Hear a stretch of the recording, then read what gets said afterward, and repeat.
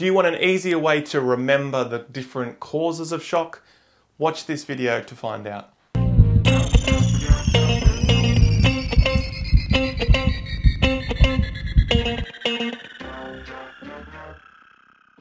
So welcome to this short video on the causes of shock and essentially what we're going to do here is categorize these causes into a way of easy memorization.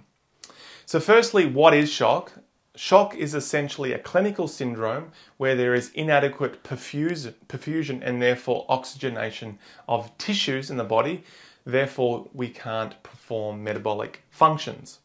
Now, traditionally, the way we broke up shock or categorized shocks by causes uh, are, are through things like hypovolemic shock, obstructive shock, cardiogenic shock, and then finally distribution shock.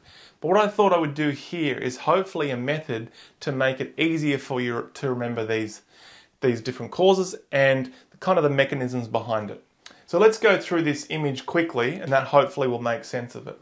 So out here we've got all the fluids of the body. So this is essentially the total amount of fluids in your body and it's held in here with this bucket.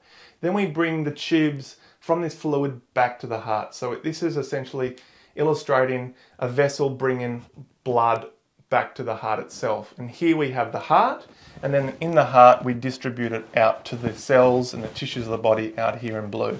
And so what we can do is break these um, image, this image up into four parts. So we've got A, B, C, and D. Okay, so let's start off with the bucket. So this is essentially all the fluid in your body. So for a typical 70 kilo person, you've got about 60% fluid in your body. That means you've got about 25% of water or fluid in your cells, and you've got about 14 litres of fluid outside your cells, or what we call extracellular fluid. And of that 14 litres, about 5 litres is what we call blood. Now, of that fluid, if you have a reduction in that fluid, that would lead to causes that we call hypovolemia. Okay, and because this is a fluid amount, A here is amount. So A for amount. Now, the way that you can remember the different causes of hypovolemia is causes based on blood loss. So we could call this intravascular loss, intravascular.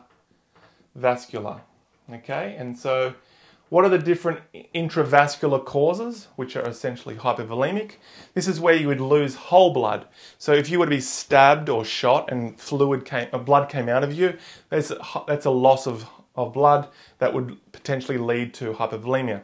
Or you might have bleeding in your GIT tract. So if you were vomiting blood or um, defecating blood, that would be a blood loss. Okay, so that's whole blood. Now you might also have blood loss into spaces, so it's what we call concealed blood loss.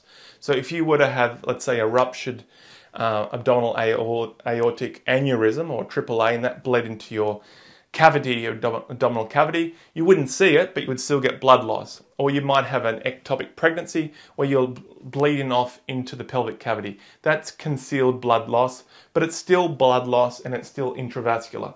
So you can have blood, whole blood. Another thing that you could have loss is plasma. So you could also, it's still intravascular, which means it's still part of the blood, but you could lose plasma. And ways of losing, plasma would be through lots of sweating, a lot of dehydration. So that's one. Or you might have three degree burns, third degree burn, should I say, where um, you've lost that patency of the skin and fluid just starts leaking out. And that's essentially plasma.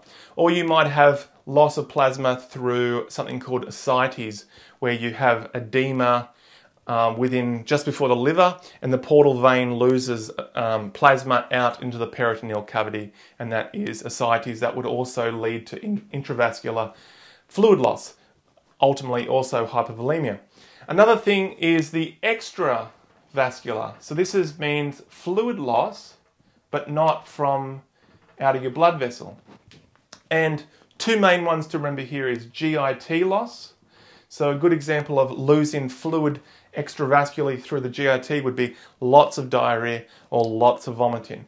Or you could have renal loss, which would be if you had a patient with DKA or diabetes ketoacidosis or just poorly managed diabetes where they're peeing a lot, lots and lots of polyuria, that would also lose a lot of fluid. Therefore, you're going to lose, um, go into a hypovolemic state, therefore could progress into shock. So the take home point here is many different ways of losing fluid, but generally categorized into intra and extravascular, all fit under the hypovolemic umbrella, but it's all about amount. And we remember A for amount. Okay, so that's the first one done.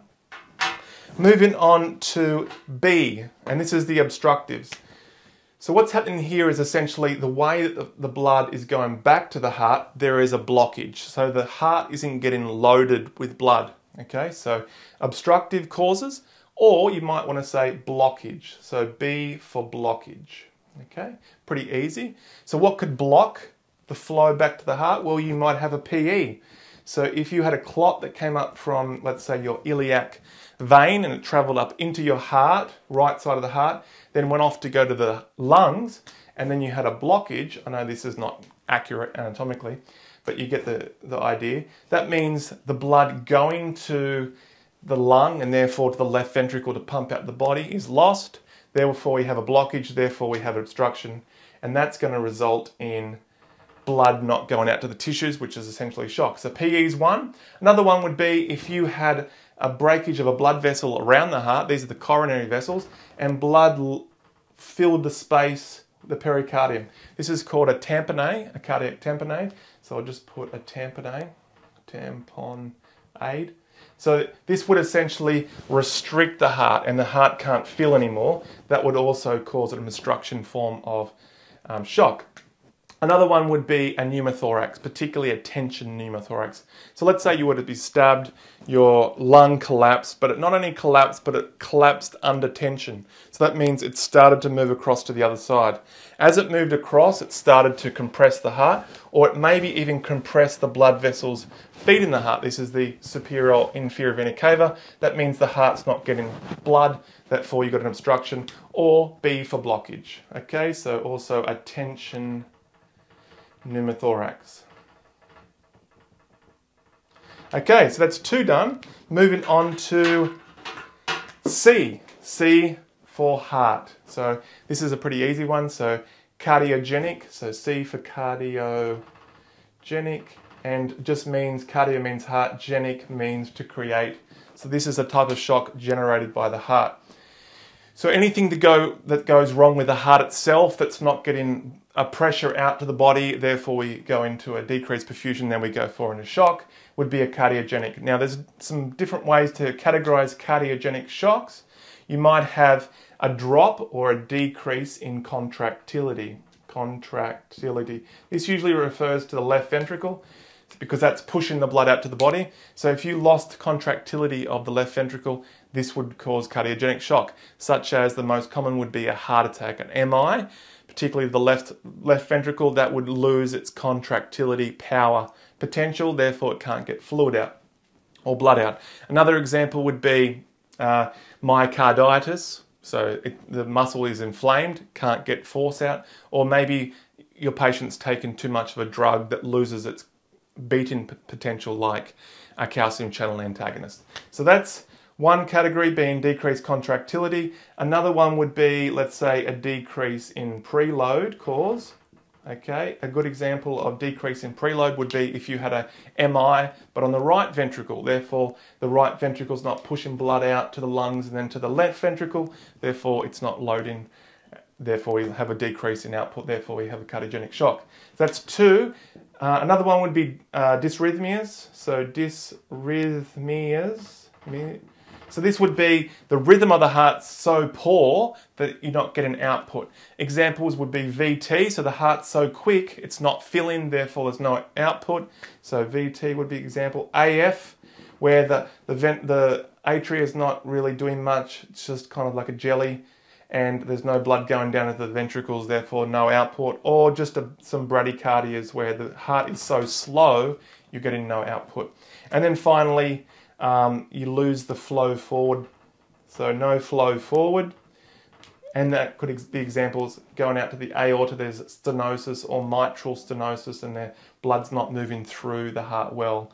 That would also lead into cardiogenic. Remember, C for cardiogenic. So, lastly, we're, we're left with D. D for distribution. So, what this means is you're not distributing blood out to the tissues. So, all this side is okay, but the blood going out to the tissues isn't occurring. This is a distribution shock. What usually happens here is the blood vessels just get really big. They dilate. That means the flow out is really poor. Now, some causes of this would be neurogenic. So this is where the nerves supplying the blood vessels are dysfunctional, therefore it results in them dilating, therefore the pressure is very poor, therefore tissue perfusion is poor, therefore we have shock. Neurogenic, a good example would be a spinal cord injury, particularly above a certain level, and there's a dysregulation of the, particularly the sympathetic nervous system. So neurogenic's a good one. Another one would be anaphylactic. So anaphylactic is where your immune system reacts to something inert like, let's say, peanuts, and it's so reactive it releases so much histamines. Histamines causes vasodilation. So much vasodilation, there's no flood flow out to the body. Therefore, we go into shock. So anaphylactic is another good one. And then finally, an uh, inflammatory cause would be like a septic shock. An example of a septic shock where you have, let's say, a bacteria. It's um, colonized you, particularly in your blood. Your it it either releases a toxin like an exotoxin, which then causes your um, blood vessels to react, or as your immune system starts killing it off, as it dies, it releases endotoxins, which again, both of them releasing chemat- um, cytokines and so forth, which causes the blood vessels to dilate. And again, we lose pressure, we lose perfusion, and we go into shock. The only difference is with a distribution shock, which is important to remember, at least in the early phase of shock, because we've got so much vasodilation, the tissue may actually feel warm. Whereas in these forms, because we're getting such poor output, these patients in these forms of shock would actually probably feel cold and clammy. Whereas these guys in the early stage might actually be quite warm because you are got so much dilation. So there we have it. Hopefully now you can see when you categorize the different causes of shock, if you just do A, B, C, D, amount, blockage, cardiogenic, distribution, that will be a much easier way to remember.